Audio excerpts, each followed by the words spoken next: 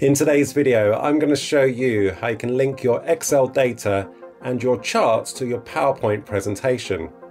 The benefit of this is when you update your Excel data or charts, it will automatically update your PowerPoint presentation. This is great when you're working with data that is consistently changing, like a sales report. This helps to ensure that your presentation is up to date. To get started, select the data in Excel and then copy it and then jump over to PowerPoint and then up here you want paste special. Select paste link. You want this top option here and then click OK.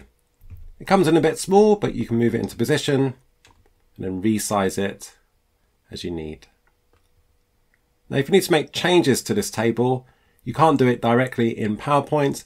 You need to go back to Excel and from here you can make your changes. And it will automatically update your PowerPoint slide. Now if you don't have the Excel file already open and you don't know what it's called or where it's saved, uh, you can get to it from PowerPoint by just simply right clicking on the data here and then go into linked worksheet object and then go to edit. And this opens up your Excel file it opens it up as read-only, but you can click here to edit the workbook and make whatever changes you need to make.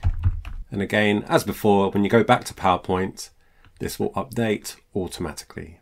Linking your Excel charts to a PowerPoint presentation is done slightly different. Let me show you. So start off by copying your charts from the Excel spreadsheet.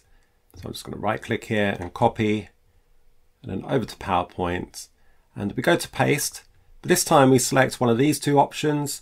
So one option is the destination theme and the other one is the source. So the destination theme is, is the styles in PowerPoint, whereas the source would be the styles in Excel. In this example, it doesn't really matter. Uh, so I'm just going to go for destination theme. And uh, similar to before, we're going to move this into position and then resize it. If you need to change the color or formatting of the chart, you need to do this in PowerPoint. So up here across the top, you've got chart design. So you've got these different options here that you can choose from. You can even change the chart type. Uh, but in this example, I'm just going to go to format. I'm just going to change the fill color and let's give it a white background. However, if you want to update the data in the chart, you will need to do this from the Excel spreadsheet. And if you don't have the Excel spreadsheet already open, or if you don't know what it's called or where it's saved, Similar to before, you just right click on the chart and select edit data and this will open up your Excel file and then from here if you needed to you can update the data and this will update your chart and if I go back to PowerPoint the chart is updated automatically. If you found this video useful click subscribe and hit the bell so you don't miss future videos like this and I will see you in the next video.